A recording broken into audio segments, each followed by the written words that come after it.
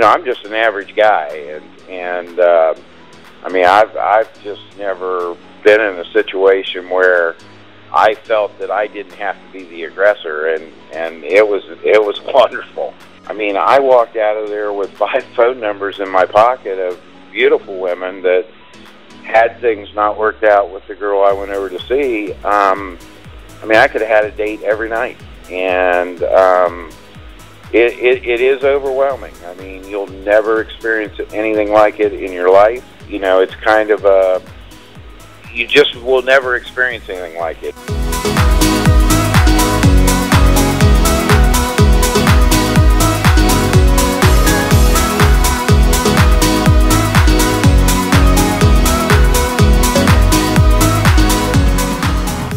First off, you're never going to find that many beautiful women in the same room.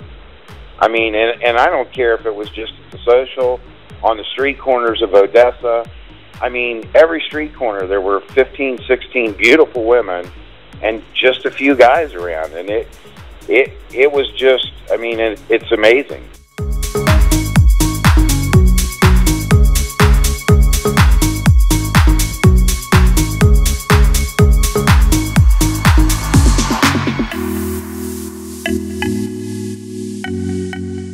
Beautiful city. It's um, you know, it's got beautiful architecture, and and then you know, just the the the people are.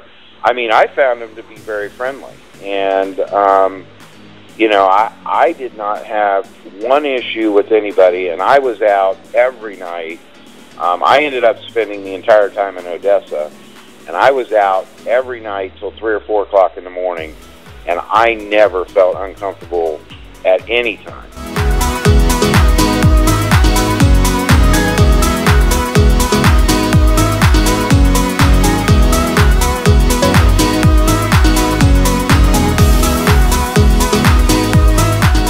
the women in Europe dress differently, and and um, which makes them all that more attractive. And you know, it's um, I mean, certainly they don't think anything about wearing a pair of tight leather pants and and knee high boots. And I mean, they're incredible looking, and you know, it's not what you typically would see here in the states, but put in their surroundings, it's it's it's it's very natural, and um, they're just. Uh, I mean, they take great pride in making themselves look beautiful, and they certainly do.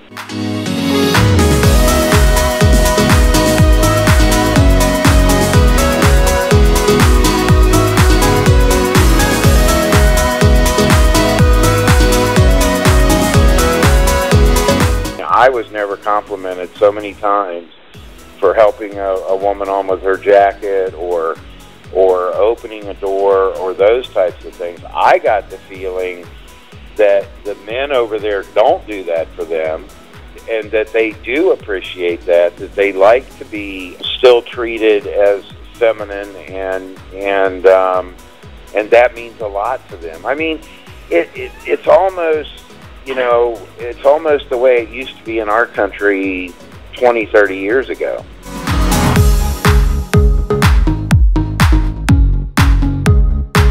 Check out our website at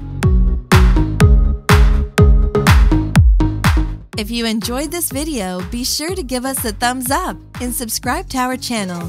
Then click on the notice bell to get notified every time we add something new.